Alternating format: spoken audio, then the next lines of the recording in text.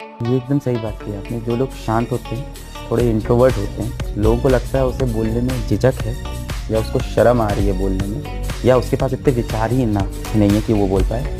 असल में क्या है, वो अपने जैसा बुद्धिमान व्यक्ति ढूंढता है कि किसके साथ मैं बात कर सकूँ। वो हर किसी के सामने बात ही नहीं करना चाहता, क्योंकि उसे पता है इन लोगों के सामने मेरी बात की वैल्यू नहीं है।